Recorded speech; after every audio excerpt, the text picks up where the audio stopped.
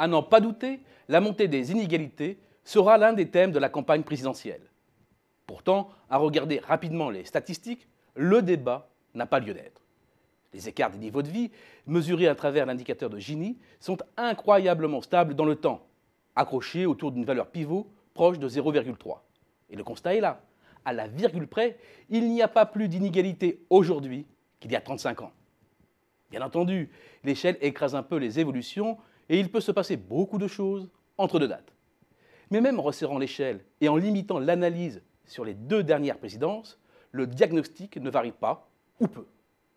Il y a eu certes une violente montée des inégalités avec la crise. Le chômage frappe les plus faibles, la part des CDD ou du temps partiel explose, les bas salaires sont pénalisés par la faible revalorisation du SMIC.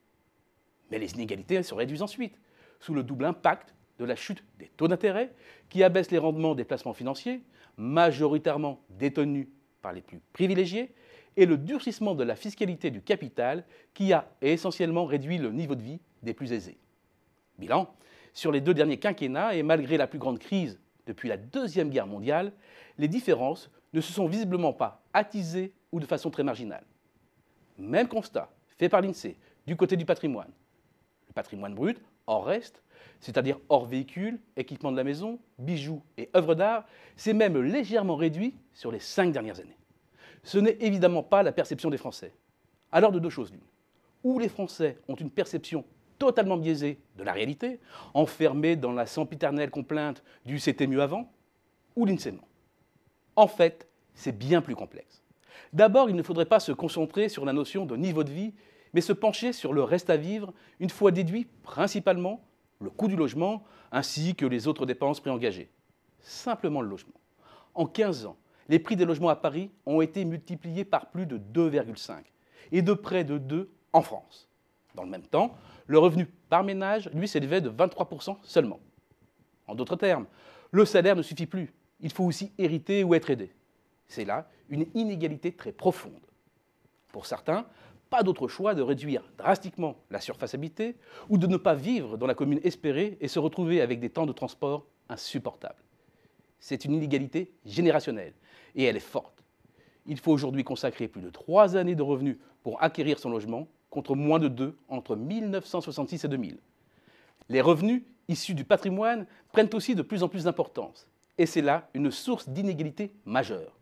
Autrement dit, l'écart s'est accentué entre ceux pour qui tout est déjà fait, ou presque, et ceux pour qui tout est à faire. D'après Louis Chauvel, le constat général est le suivant. Le nombre d'années moyen de revenus nécessaires à la constitution d'un patrimoine est passé de deux ans dans les années 80 à 6 aujourd'hui. Idem pour les jeunes diplômés, dont le déclassement est manifeste en termes de rémunération, de perspective de carrière, de qualité et de sens du travail à diplôme équivalent à leurs aînés plus d'un diplômé du bac ou plus sur cinq est employé ou ouvrier non qualifié.